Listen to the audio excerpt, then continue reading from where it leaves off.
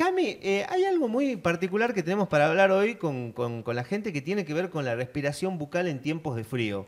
Sí. Pues sabés que yo esta imagen la tengo como un poco guardada de cuando uno sale a, a- a correr o a caminar, eh, cuando hace frío, que viste que ahora vienen, te dan como ese cuellito, Sí, ¿cómo se llama? El, sí. el puff para, para taparte un, un- un poco. Pero ¿qué pasa con los chicos con esto? ¿Hay que cuidarlos de una manera particular? Sí, hay que cuidar de una manera particular. ¿Por qué?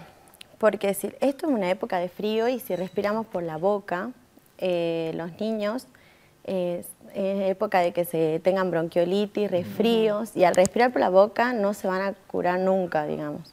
Entonces es importante tener este, presente esto, que las madres, los padres presten atención, eh, vean eh, si sus niños están mucho tiempo con la boca abierta, si duermen por la noche, con, tienen ronquidos, están, eh, tienen, hay distintas características también del, del respirador bucal, que por ejemplo, bueno, una es esa del dormir por la noche roncando, eh, estar mucho tiempo durante el día con la boca abierta, eh, hay facies este, de la cara que te dan, rasgos de la cara que te dan también una indicación de que son respiradores bucales, como este, la cara alargada, eh, plana, me olvidé. ¿Y se puede, se puede corregir esto de do- cuando dormimos? Porque bueno, si los papás uno se, se puede dar cuenta, si los chicos lo están haciendo mal, si es que se los escucha al, a- al dormir y demás, pero ¿se puede corregir? Sí, obvio. Se puede. de- primero hay que,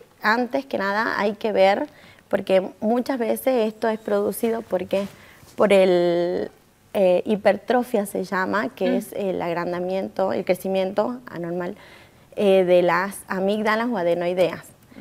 Si es por este, si pasa esto, el aire, ay, perdón, ¿dónde ahí. No, tranqui, tranqui. El Ahí, aire, el aire no pasa este por la vía aérea al aparato respiratorio. Es por este, es por ahí, esta hipertrofia. Entonces hay que derivarlo a un este otorrinolaringólogo, que él es el que se encarga de esto, ¿no? Eh, y si vemos que, que no hay ninguna de esta eh, patología, eh, entonces se trabaja en consultorio con eh, fonoaudiólogo y eh, también se puede derivar a un, este, mm, ay, no me acuerdo el nombre del, del médico. Pero, El- pero hay especialidades que lo, que, que lo van tratando. Sí, Ahora, sí, ¿son sí. procesos, son tratamientos largos, cortos o dinámicos? Pensando ¿no? en la mamá, en el tratamiento, en la preocupación, ¿cómo, ¿cómo se lo va llevando? ¿Cuánto tiempo? Depende de la edad también. Claro, depende de la edad, hay que concientizar también la respiración, el- el- la posición de la lengua, porque muchas veces también se da porque tienen la lengua baja, entonces por eso también tienen la, bo- la boca abierta, hay que trabajar la musculatura facial, la, posi- la posición del cuerpo. Ahora, ¿cambia hay muchos chicos con estos inconvenientes? ¿O, o- o no es un... eh, perdón por la, por la pregunta, ¿no? O, o no le prestamos realmente atención y, y dejamos que pase? Porque es normal, ¿viste? Duermen Sí, así, respiran claro. así, no, no le damos Eso- realmente un... Eso, eso pasa, eh, que lo como lo normalizan y bueno, por ejemplo, el ronquido no es normal en los niños, entonces no hay que normalizar eso, sí o sí hay que ir a una consulta, ya sea con un otorrino, un fonoaudiólogo, un traumatólogo, lo que sea, por, lo, por esto, ¿sí? O sea, el ronquido es el síntoma que hay que, que hay que- si vemos ronquido en un chico, Si ven- ¿hasta qué edad? claro, o si cualquier ven- edad. No, cualquier edad, si ven ronquido. Estamos al horno.